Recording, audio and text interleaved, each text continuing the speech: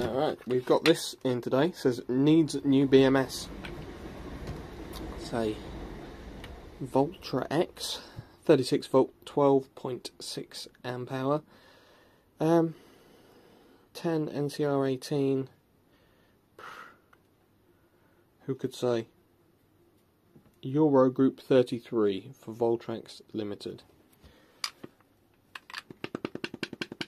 It's a bit loose in there. I think it's a Reention eel. Uh, it does say Reention on there. Not a lot going on here. Uh, charge port there. And I've got my power supply on here. If we plug in the charger, well, the power supply, should I say.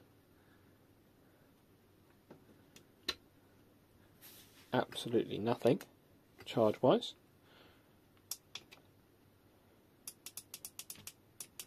Battery indicator does nothing. Seem to be loose.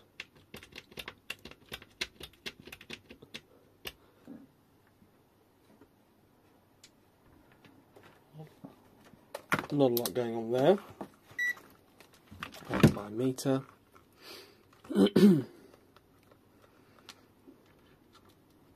We've got nothing on the output. And if we press the button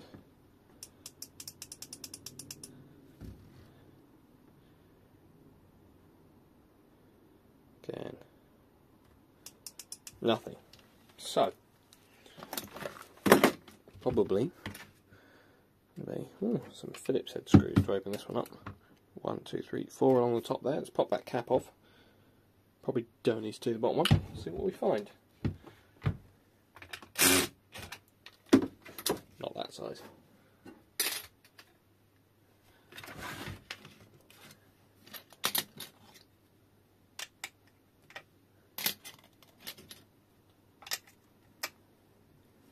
Posi uh, 1 for anyone that needs to know.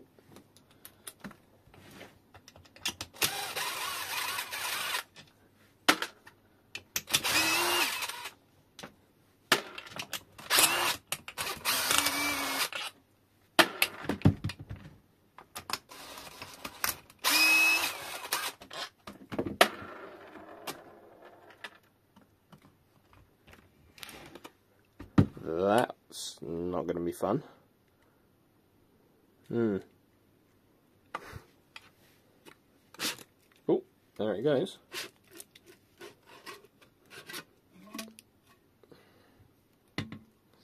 case.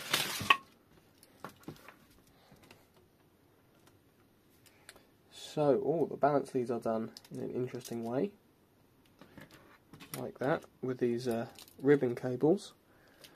It almost looks like an old IDE cable that's been pushed into a sort of a custom connector. Isn't that interesting? Looks to be the temp sensor there. All looks interesting. Like that. Okay. There's our main B plus and B minus there. The button is just powered off the charge port, which comes off charge positive. Bizarre. There's the BMS name. Oh, if we can see it. it says just there. BMS 10S4P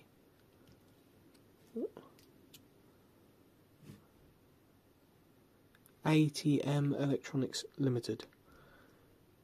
Got a whole chip on there and all. See what kind of voltages we get. If it is really a new BMS that's needed, or if it's uh, all got a little bit confused.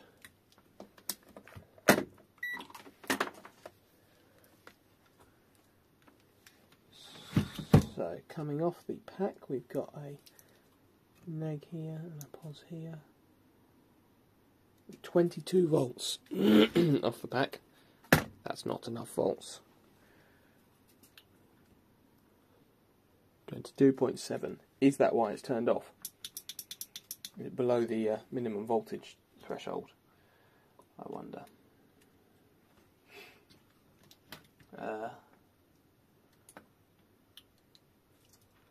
does all look rather bizarre.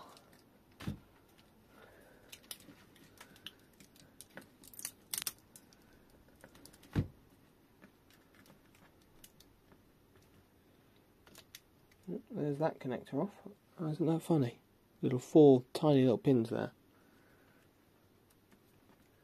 This side's got five. Two. There's it. One, two, three, four, five. Yep. This is bizarre.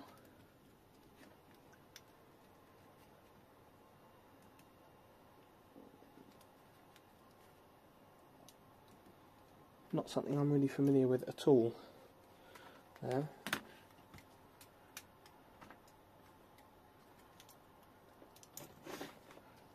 I'd imagine I could check the voltages across the resistors here.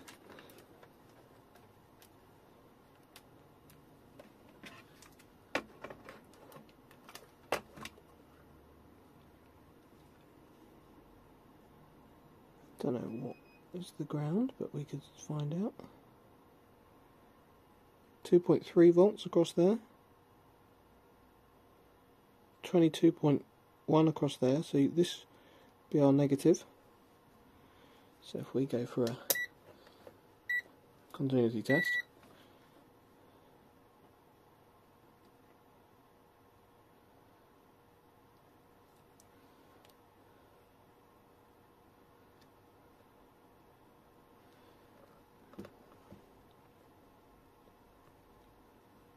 be other components in the way. We'll go back to our voltage mode and go B minus to there. 22 volts, so this is our positive up here. And from here to here, that's our negative up there. It's getting zero volts between the two. So if we measure from there to there, you'd assume this is the next one. 2.239, bit hard for you to see, but we'll make do.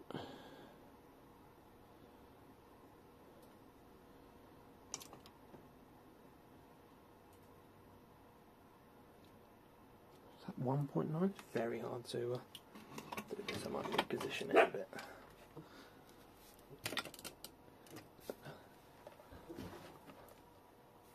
Go between this one and this one. 2.05, 2.13, 2.243,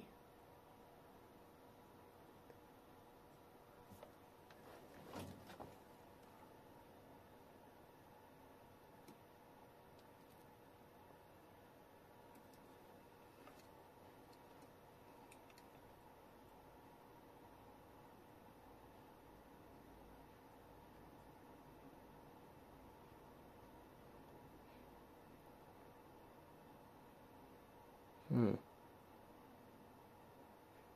2.3 2.3 2.2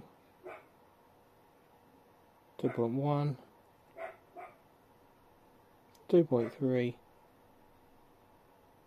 2.3 what I might do is um, just raise the voltage of the entire pack up a bit, see if it wakes the BMS up.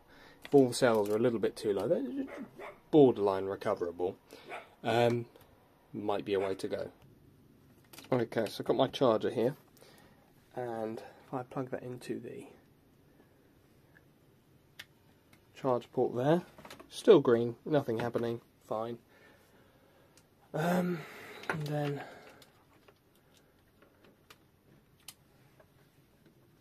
we were on about 20 two or 23 or something for the whole back there. So, power supply on. There it goes. You can't quite see that. There you go, 42 volts just there. Just turn that down to 25 volts. we're going to do is sort of force the power back into the back. So that's our positive there. If we've got anything to clip onto even.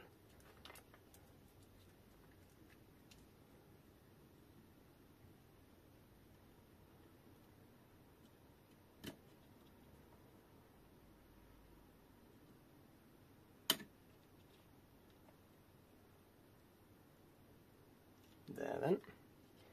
Then our negative across there. There we go. So it's taking 0.3 amps there. Charger's still green. About 1 amps. Just keep bumping it up ever slightly. Hopefully, when we get a bit closer to 30 volts, the BMS might wake up and take a charge. But we shall see.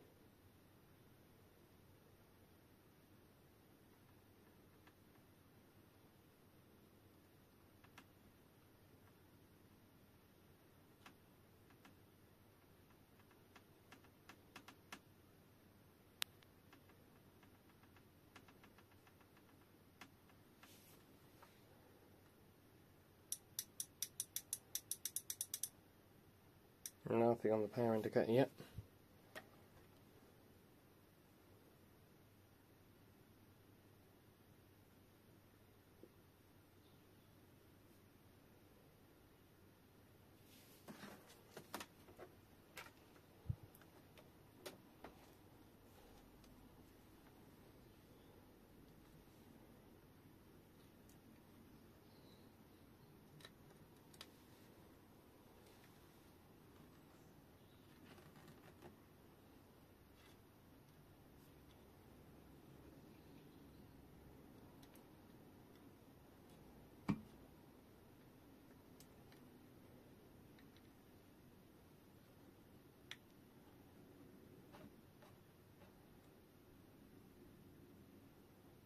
Nothing on the output with the multimeter either. Might need to get to above 3 volts per cell for it to work. Just try. A bit more juice.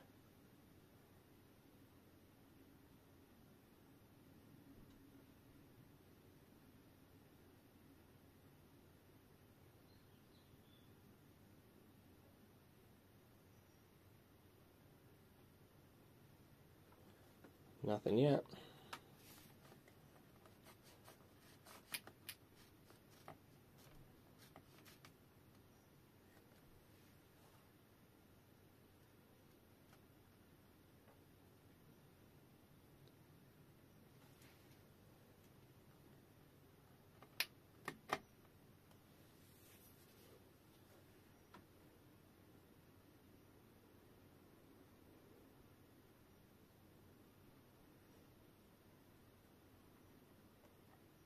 Well, I'll pause it and come back to it if anything exciting happens, which mm, it might not.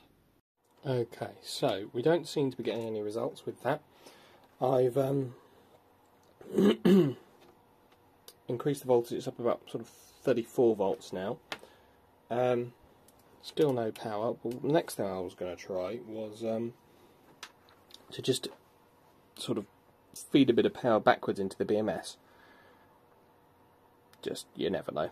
It's either knackered or it's not, and if this turns it back on, uh, we'd still run tests to make sure that it stops charging when it's supposed to charge, um, cuts off when it's supposed to cut off, that the temperature sensor cuts off at you know some reasonable value. I can heat it up gently with a heat gun to, you know, 40, 60 degrees, something like that who knows what its value is, but whatever it is. Um, so we've got our main power output terminals here just because they're easier to get to than the ones on the on the board there. They're a bit fiddly. Got it set to a little bit high actually. Close enough for 42 volts. Negative in the negative, positive in the positive. Oh, little spark. Oh, so it is. My finest moment. Don't short them out.